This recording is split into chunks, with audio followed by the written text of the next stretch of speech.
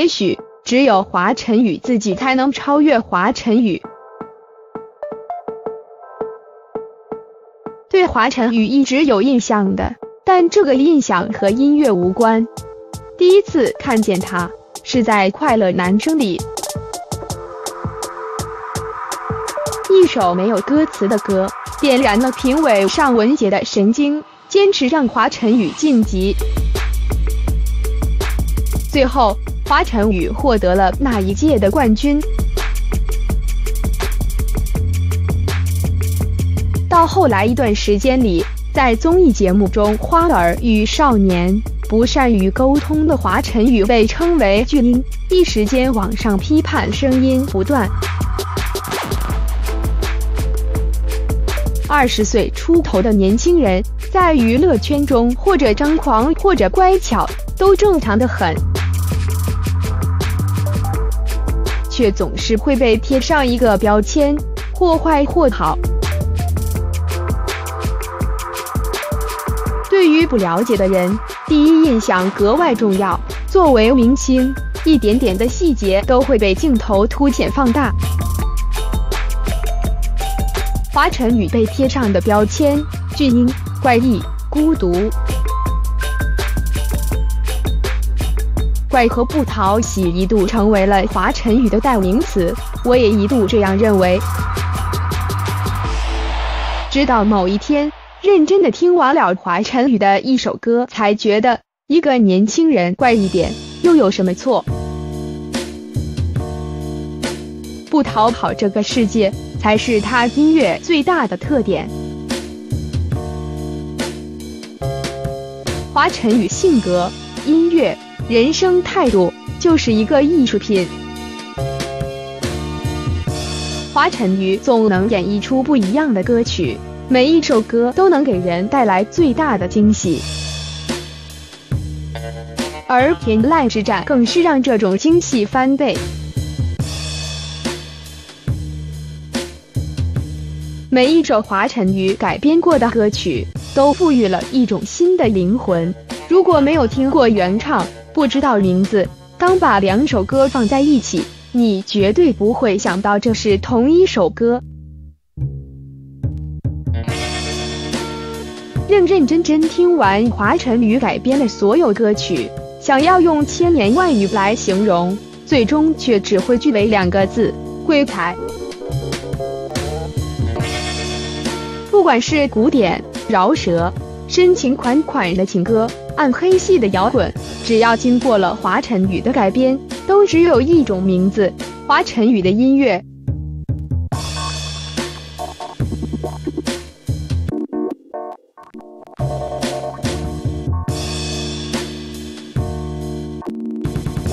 摩擦，摩擦，在这光滑的地上摩擦，一步两步摩擦，一步两步似魔鬼的步伐，在这光滑的地上摩擦，一步两步摩擦。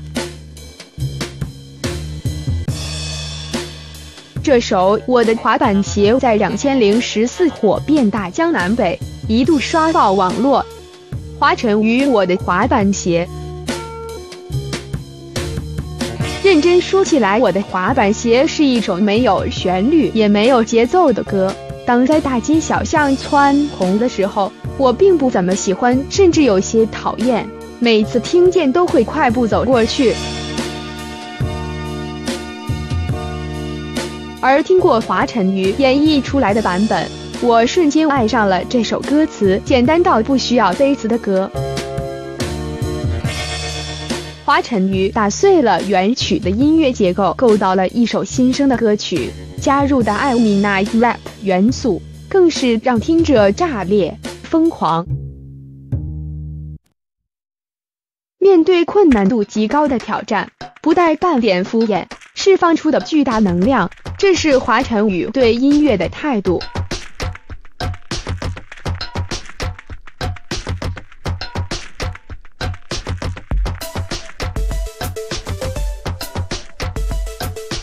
我听说，通常在战争后就会换来和平。为什么看到我的爸爸一直打我妈妈？就因为喝醉酒，他就能拿我妈出气。我真的看不下去，以为我叫细汉，从小到大只有妈妈的温暖，为什么我爸爸那么凶？如果真的我有一双翅膀，两双翅膀，随时出发，偷偷出发，我一定带我妈走。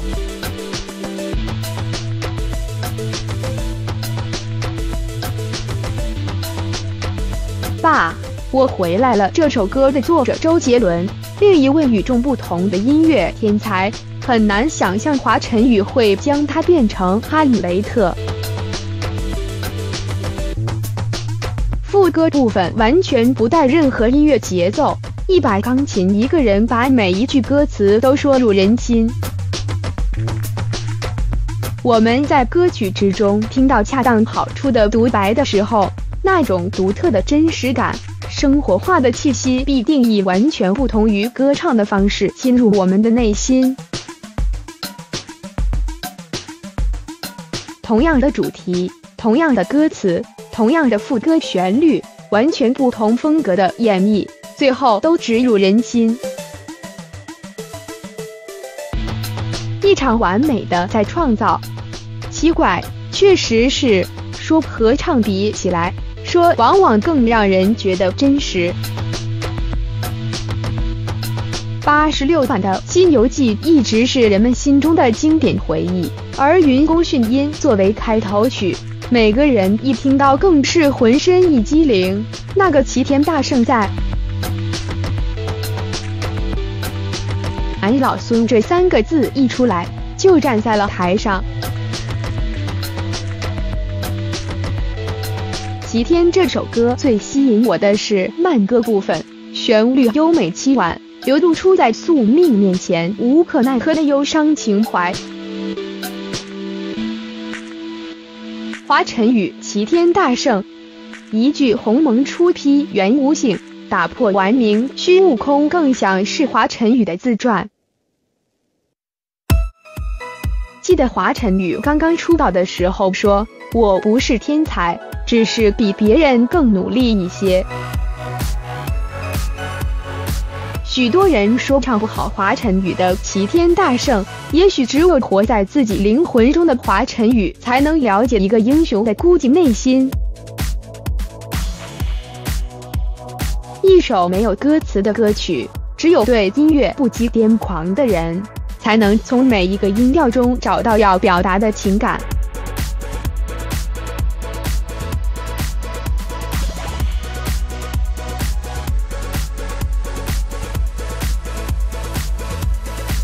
高山青，涧水蓝。阿里山的姑娘美如水，阿里山的少年势壮如山。高山长青，涧水长蓝。姑娘和那少年永不分，碧水长围着青山转。高山青，涧水蓝。阿里山的姑娘美如水，阿里山的少年是壮如山。高山长青，涧水长蓝。姑娘和那少年永不分。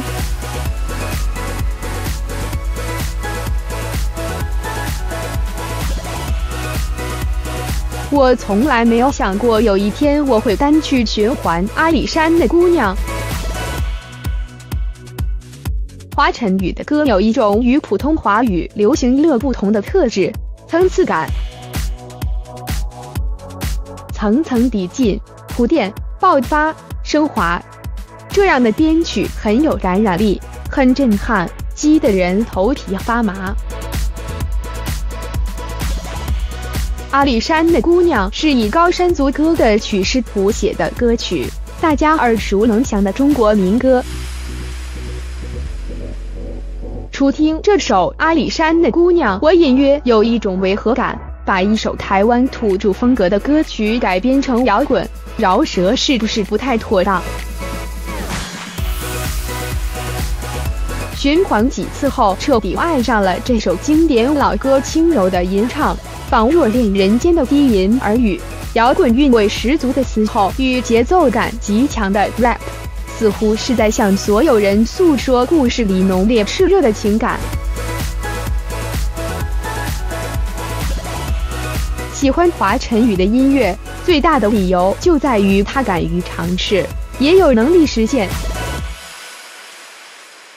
蓝蓝的天空，清清的湖水，哎耶，绿绿的草原，这是我的家。哎耶，奔驰的骏马，洁白的羊群，哎耶，还有米姑娘，这是我的家。哎耶，我爱你，我的家，我的家，我的天堂。我爱你，我的家，我的家，我的天堂。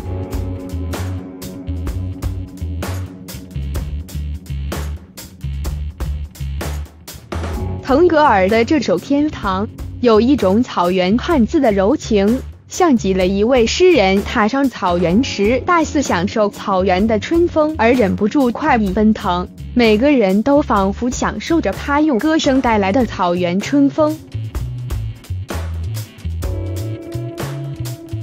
那个年代里少有的编曲抓耳的曲子，运用的马头琴非常美。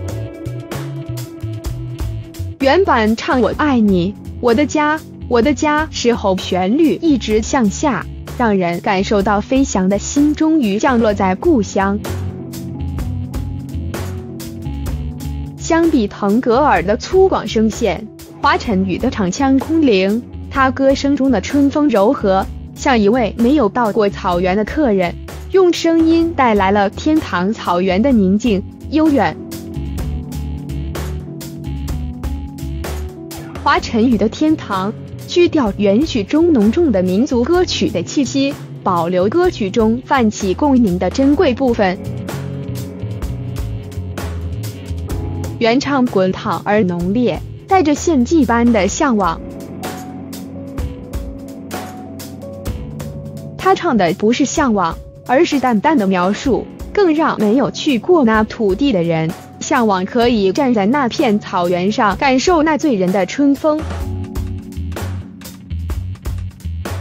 每一句词，每一个语调，都透露出一种向往，简单又动人。唱的难道不是听者的心吗？哪怕没有办法，一定有说法。就算没有鸽子，一定有乌鸦。固执无罪，梦想有价，让他们惊讶。什么海角，什么天涯，明天我要攀越喜马拉雅。什么高楼，什么大厦，钢铁能炼成最幸福的家。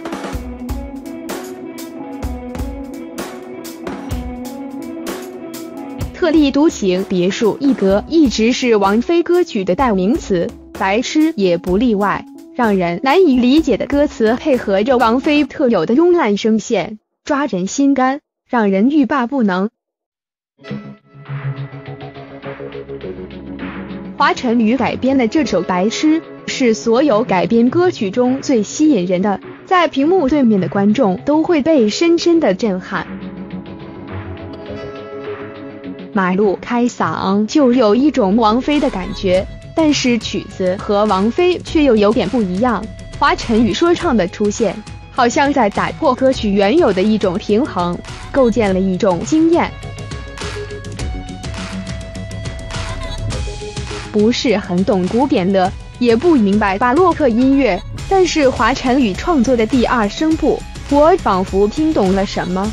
脱离开歌词，通过旋律、唱腔，直白无保留地唱出了吸引人的古典乐。